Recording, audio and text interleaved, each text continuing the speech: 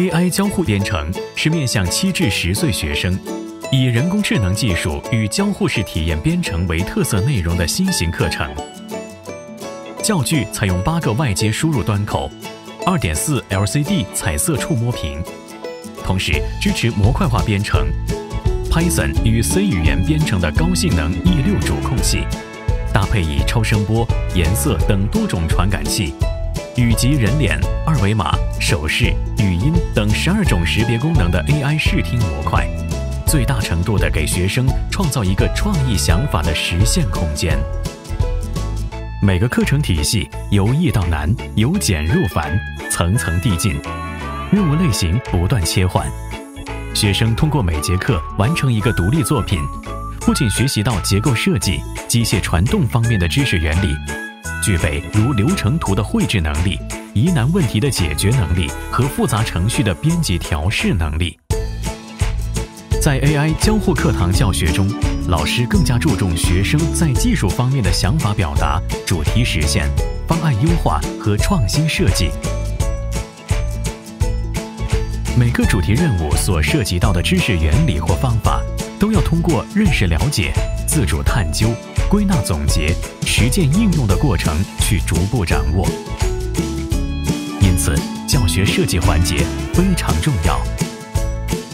在情景导入环节，我们通过动画、视频、游戏或提问的方式引入本节课的主题任务，促进学生自然顺畅地尽快融入上课的轻松氛围，为本堂课接下来的课堂学习做好适当的预热。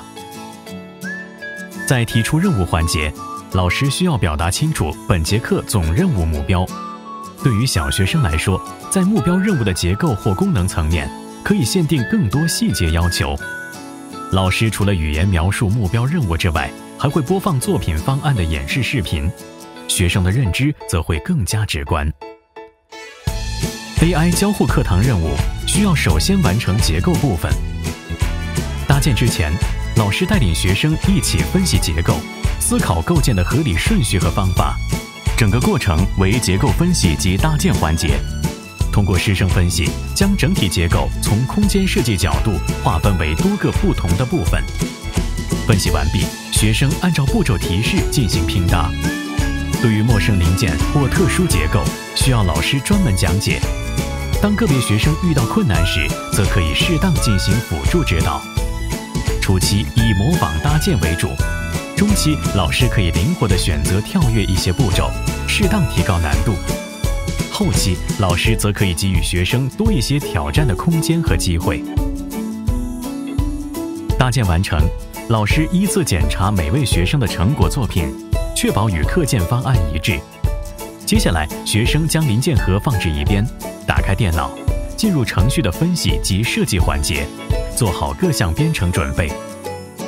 对于复杂任务，一次性编程到位，对于学生来说显然很有挑战。通常的做法是将总任务目标分解成几个小目标，更易于学生循序渐进的、有把握的去完成。编程前的准备工作必不可少：依次打开电脑和编程软件，连接好电脑和 E 六主控器，实现软硬件成功连接。在编程过程中，分析与调试程序是交替进行的。老师不会直接给出学生答案，对于可能要用到的新命令，提前介绍讲解，或通过流程图、类比等方式帮助学生梳理思路。在初级学习阶段，学生只需读懂和理解流程图所表达的含义即可。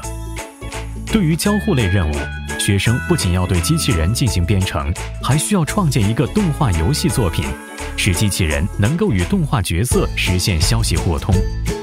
编程完毕，学生要反复检查和调试机器人完成任务的情况，确保最终目标成功实现。任务拓展环节是老师对于学生更高一级的目标要求，旨在让作品更具创意性，功能更加多元化。难度更具挑战性。